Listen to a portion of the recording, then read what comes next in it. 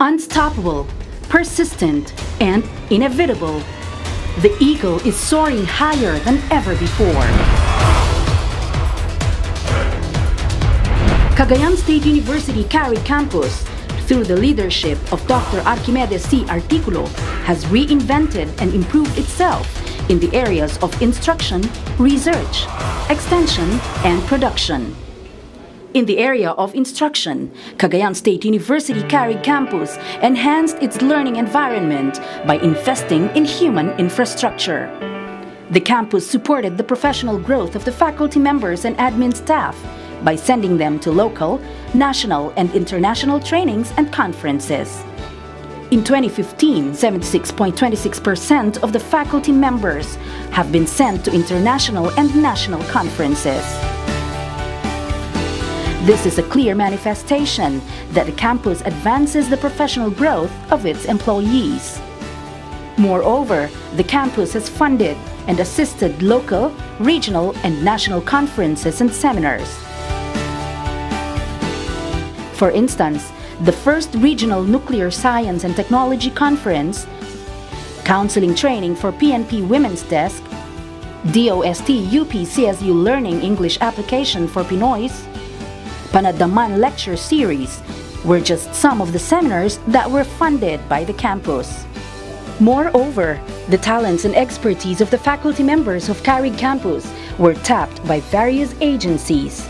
Cagayan Provincial Police Office, through the Polaris program, invited the guidance and counseling and psychology faculty members to lecture on stress debriefing and counseling.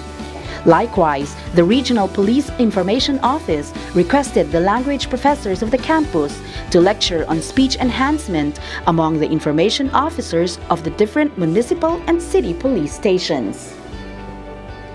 Other faculty members also lectured on different topics in various government and private agencies. In its desire to expose the students to various trends in their fields of interest, the campus financed their training and conference fees.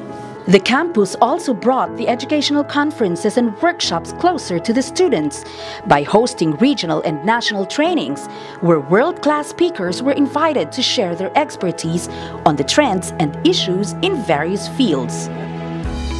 In 2015, more than 300,000 worth of financial assistance was released to participating students from various colleges. In order to establish open, mutually respectful, intelligent, and sustained communications between and among heads of office and their respective subordinates in the campus, the campus executive officer created a management committee composed of heads and offices in the campus and meet every Monday or as the need arises to discuss matters about the development of the campus that are needed to be addressed. With the rise of globalization and ASEAN integration, the campus tries to improve the quality of its instruction by subjecting 98% of its program to CHED and AACUP accreditation. 25 programs are CHED accredited. 6 programs are due for Level 3 AACUP accreditation. 6 programs are due for CHED Center of Development. The campus is also gearing for its ISO accreditation.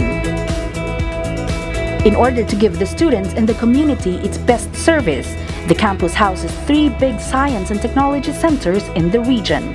The Food Innovation Center, Meta Innovation Center, and the Tuklas Lunas Center.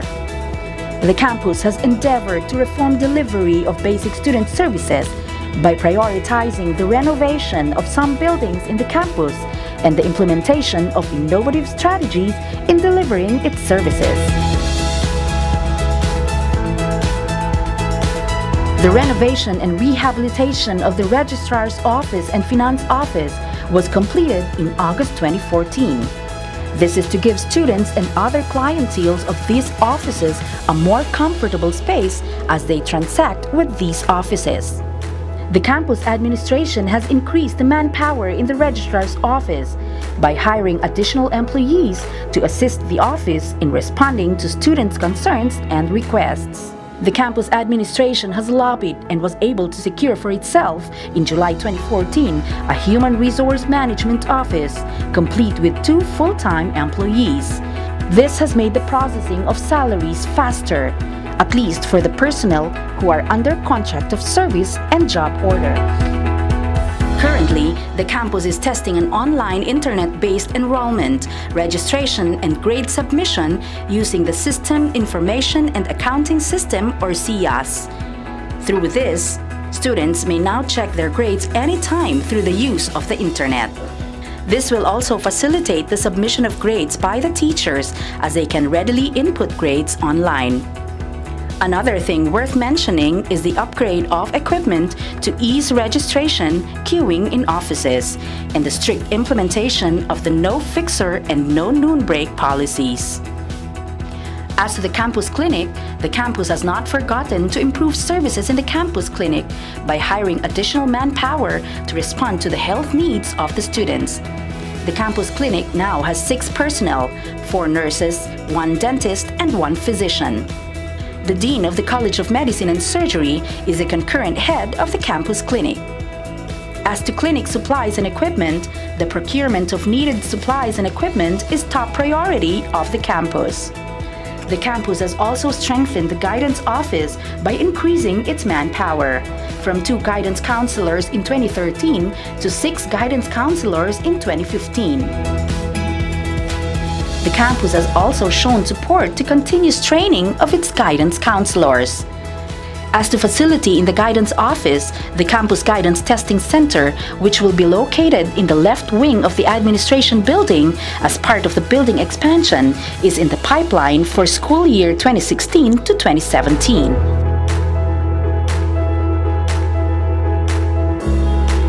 The campus has also introduced innovations and new compliances in its human resource hiring policies and practices. In 2015, a public administration graduate, a PWD known to be hardworking and dedicated, was hired and became part of the registrar's office. In terms of extension, CARIG Campus has developed and implemented meaningful extension programs and activities, which made the campus the top performing campus along extension for two consecutive years. The Operation Blessing, a convergent extension program, has made its landing in 12 municipalities in the province of Cagayan. These municipalities include Santa Ana, Lasam, Tuao, Camalaniugan, Rizal, Piat, Allacapan, Santo Niño, Baggao, Amulung, and Buguey. From these municipalities, more than 20,000 Cagayanos benefited from the medical, surgical, and dental services brought by the team along with the services of the various participating agencies.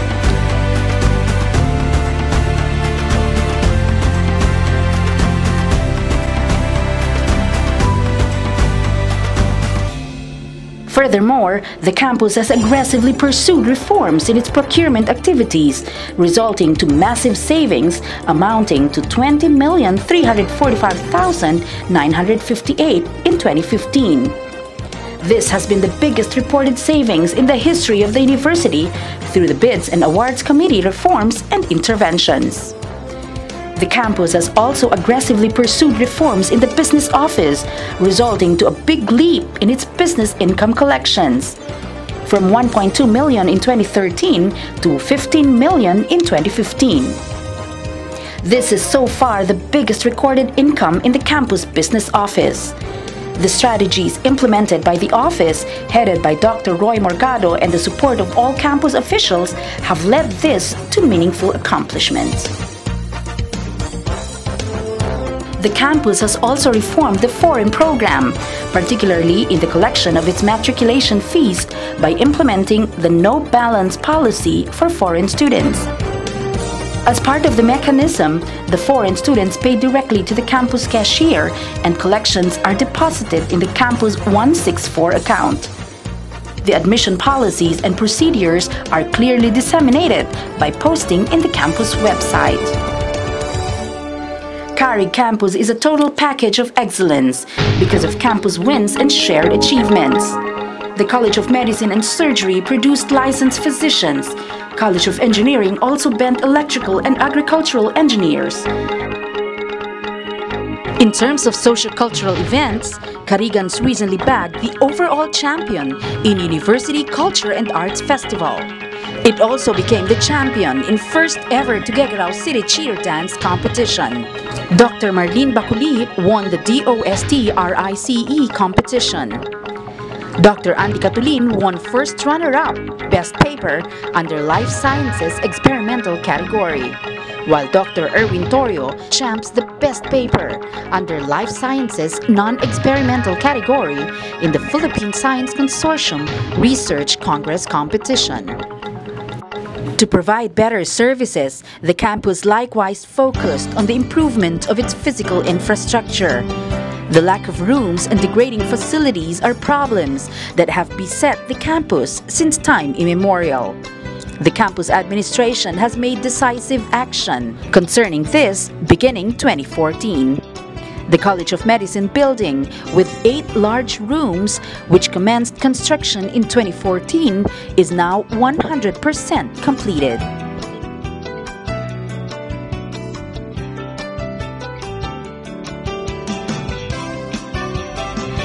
The campus has started construction of the campus student food court to give a wider, cleaner, and more conducive space to have meals. The second and third comfort rooms of the three previously planned comfort rooms are now nearing completion. One is near College of Arts and Sciences.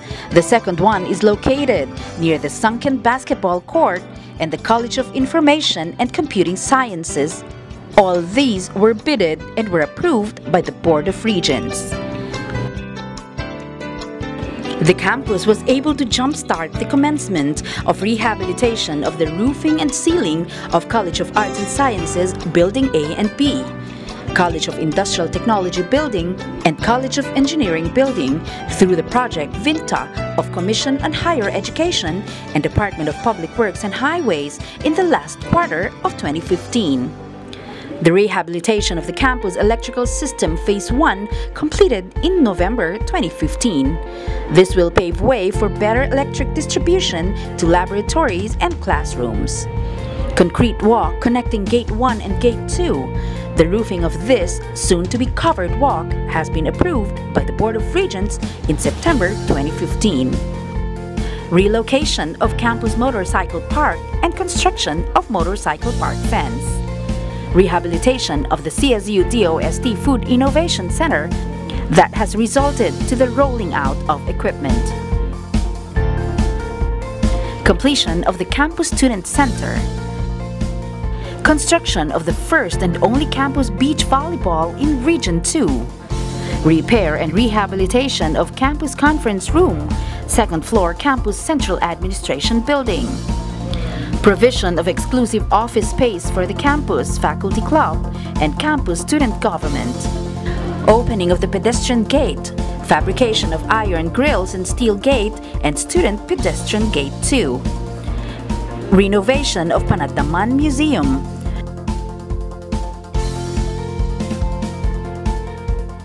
construction of NSTP multipurpose shade, completion of the CICS roadway, conversion of CAS Building A comfort rooms into two classrooms, construction of multipurpose workshop shade for paver production entrepreneurship program of CSU Dole, fabrication of faculty cubicles, conversion of unused dorm comfort rooms and stockroom into bedrooms of transient boarders and teachers attending trainings in CSU Carig.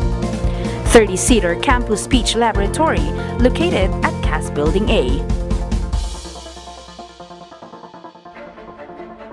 Recently, the BOR has approved the construction of the College of Human Kinetics. The CHK building will have eight classrooms.